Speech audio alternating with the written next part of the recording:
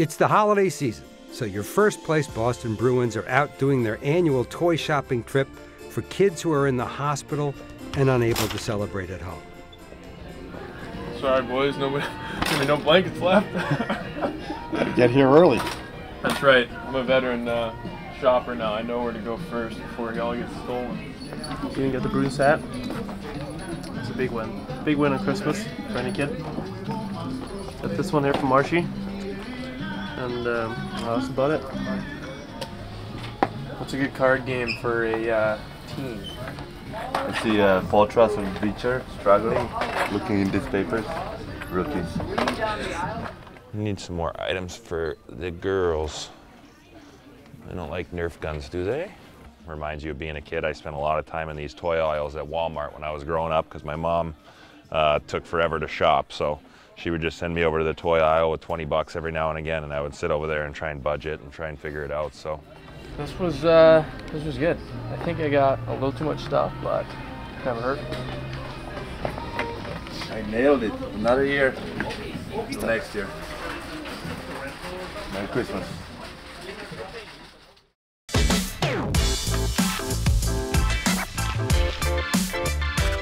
Over at Warrior Ice Arena, a familiar face is back in the house.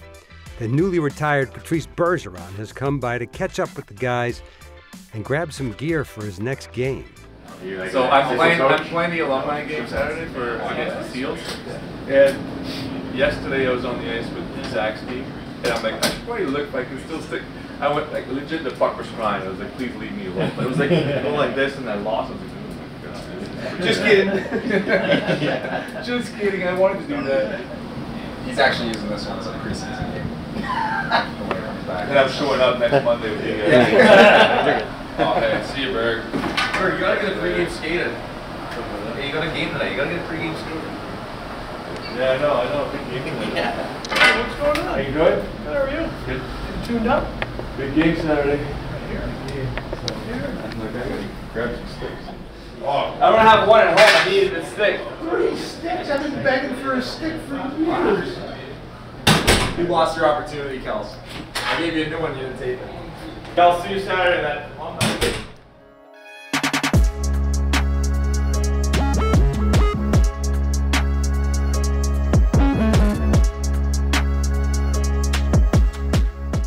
It's a hockey night in Canada showdown for the Bruins in regular season game number 23 as Jake DeBrusk and the boys travel to Toronto and take on the Maple Leafs.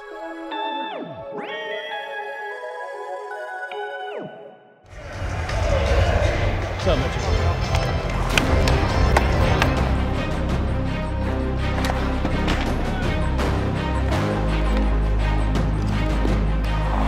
Come on, JD. Come on, baby. Make some plays here, kid.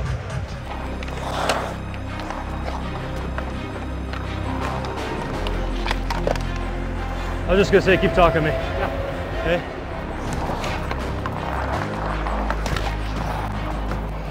Going out the window. Bold strategy by Toronto here. Update. We usually play this at home.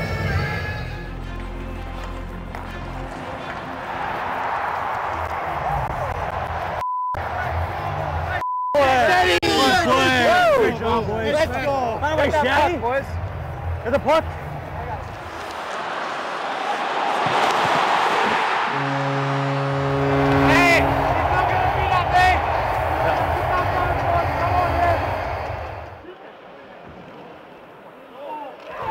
Yeah!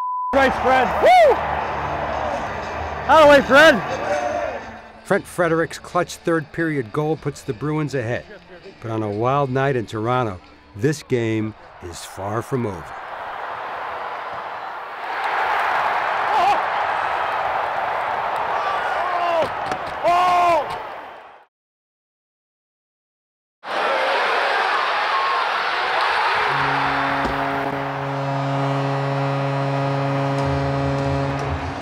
In Toronto, a late goal from Auston Matthews ties the game up and sends it to overtime. But when the going gets tough for Brad Marchand and the Bees, the captain comes through with an assist from above.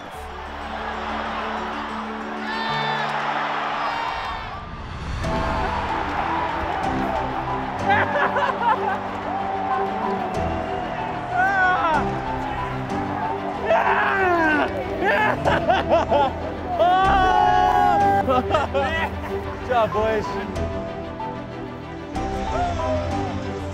All right, bud? Unreal, Mark. Love you, babe. Marky.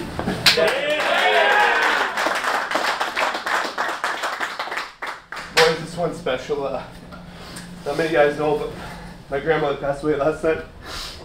And uh, unexpected, she's very healthy. She had uh, aneurysm. And uh, so this one means a lot. Thank you. One thing you can count on when you're a Boston Bruin your team will always have your back.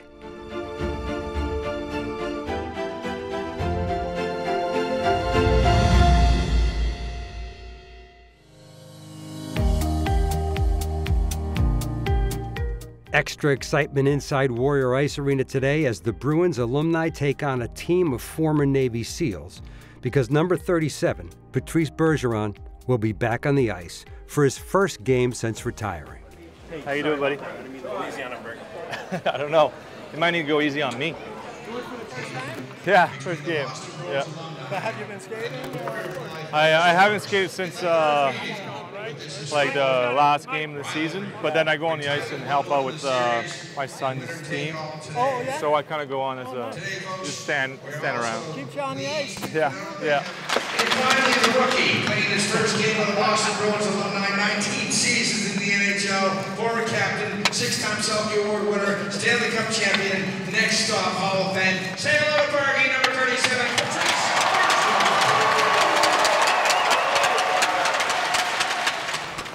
Jump!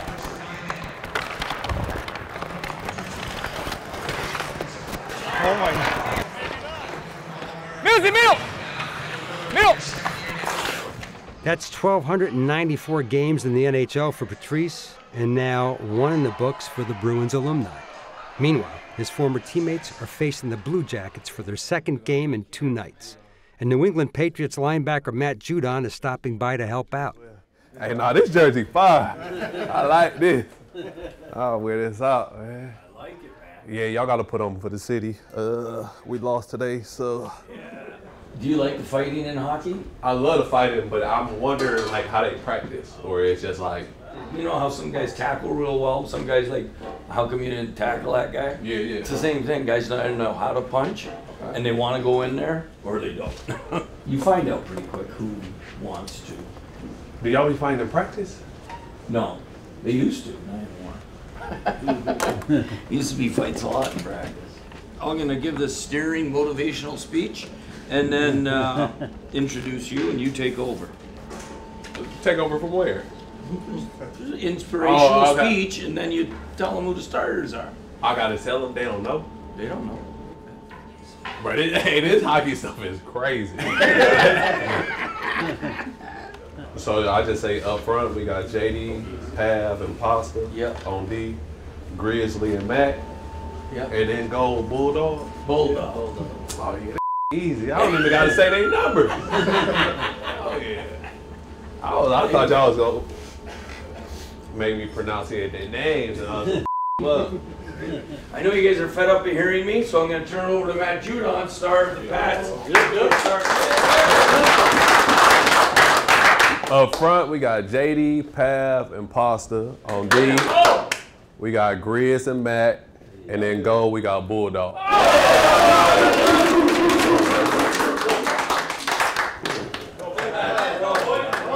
Just here for a good time. Let's go.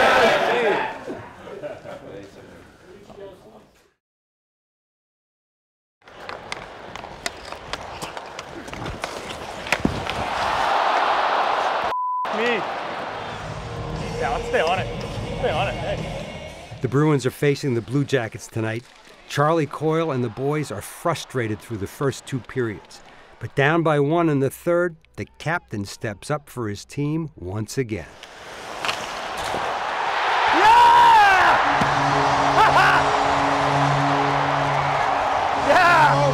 What a play! Nice done. Wow, Heino. Nice play, Heino. Finish, Marsh. Oh, yeah. Ah!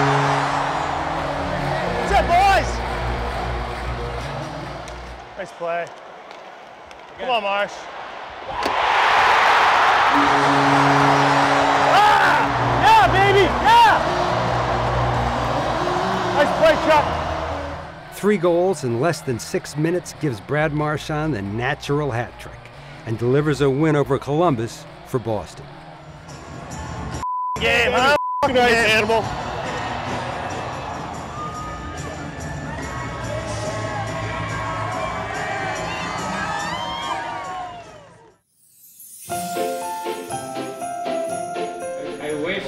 Wish I had a red nose. Maybe I should actually. You know what? Should we try find a red red sharpie? You were Barbie too, right? I was Barbie. Yeah. nice. That's skin exposed. Barbie, buddy. Yeah. Yeah. Buying gifts for kids at local hospitals was just the first step for the Bruins players. The next is to deliver the toys along with some holiday spirit in person. Uh, hey everyone, happy holidays. You too. How are you? You like the Christmas tree, I know. It's gonna grow on you. Oh even taller elf. Whoa. Oh they just keep growing inside. Whoa, that happened, and more handsome. I think he wants some Grizzlies. Do you want to put it on? No, no, no. I was wrong. There he is. Oh, he's got his he got his leg up and the ibuprofen. Oh man, some ice and stim. That's gonna be it. Oh, it's all right. He'll be okay. Just give him four to six. Us He'll elves, be all right. us elves stick together. Yeah, that we do. We appreciate you taking care of one of our elves for us. Yeah. Thank you. You're one of us now. You got a Bergie jersey? What? Your old captain. Bergie? Mm-hmm. Yeah, he was my favorite too. nah, good choice. Still hoping he might come back. Your favorite movie's Elf? Yeah, yeah, we got a lot of Home Alones today, but Elf has been up there. Yeah, it's mine too, obviously. You can't tell. Yeah. All right, guys, have a good one. We'll see you soon. See you, buddy. See ya. Yeah. I'm gonna go look for my dad. Yeah.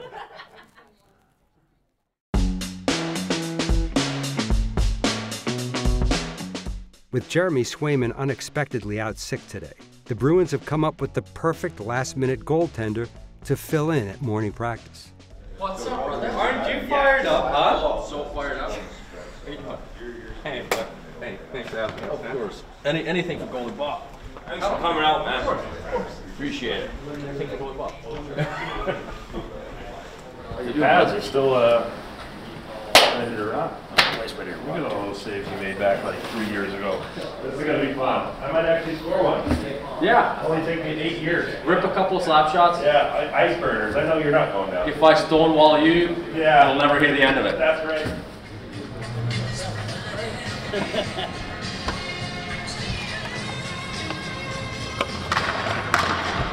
How lucky must all these fans feel like? I know, right?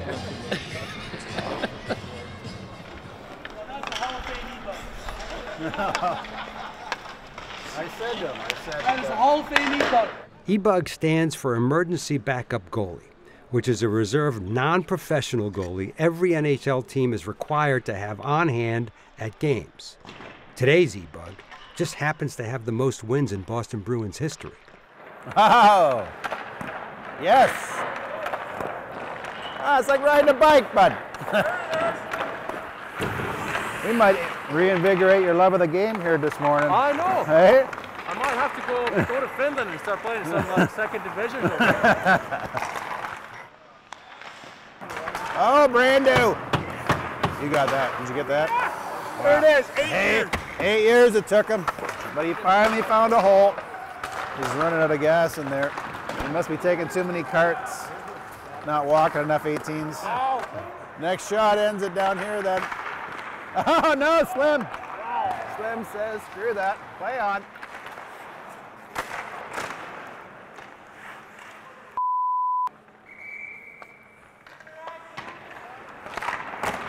Yeah, you can. Uh, uh, you can still play. Still got it, Still got it.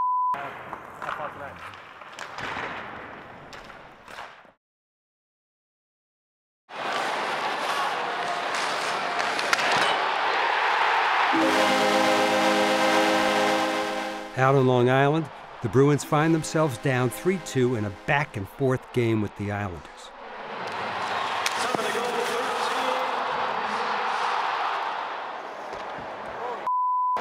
What a save.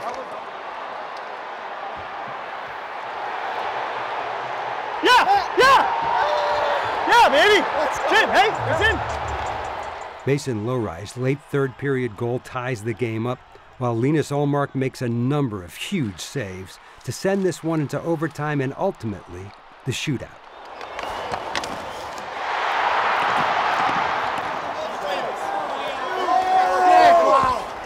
What's up, boys? Are you kidding me, Dougie? Yeah! What a game, what a game, what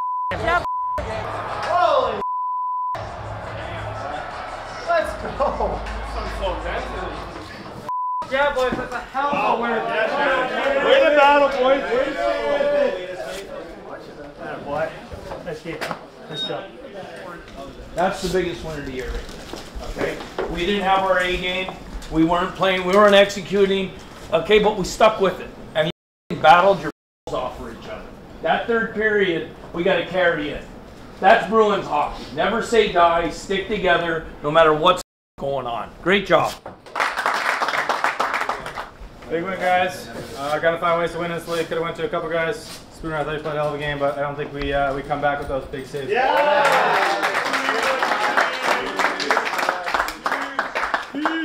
Boys, like you said, it's a hell of a win, biggest one for the for the year. But there's a game tomorrow. Let's go get that one.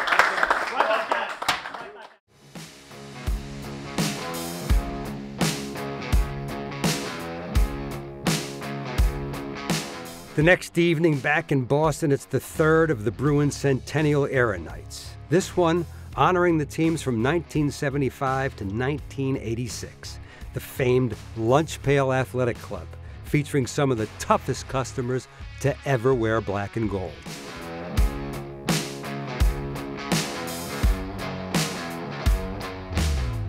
It's also an opportunity for Linus Ullmark to show off another customized goalie mask, celebrating this piece of Bruins history as they take on the Rangers tonight.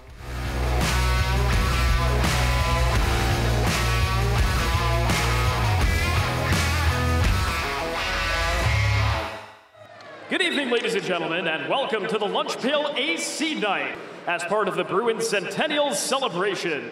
Fittingly starting the evening in the penalty box are four memorable characters from those years Keith Crowder, Stan Jonathan, John Wensink, and Mike Milbury, who also coached the Bruins for two seasons. That's funny. Please welcome number 18, John Wilson.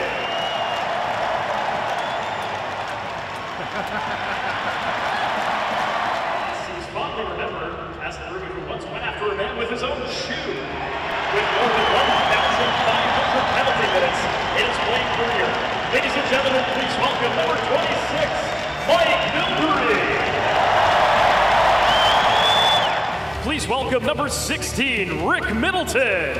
And number 24, Terry O'Reilly. I saw you start to come out there at 540 goal seasons.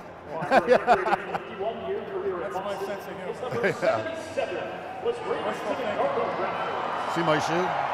See my shoe?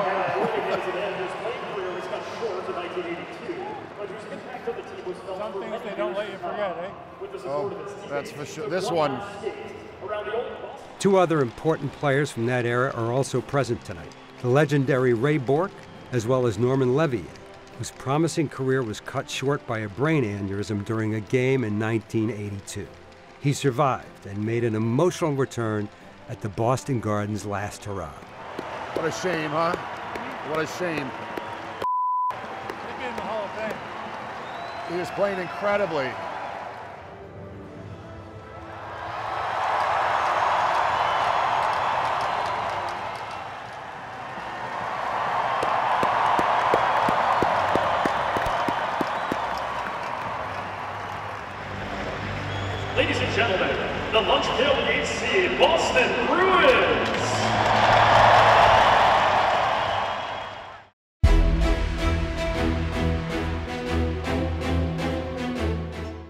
Throughout the Bruins centennial year, this team has shown their strength, their skill, and their unwavering commitment to each other. However, as winter deepens and the calendar turns, the challenges only get more difficult.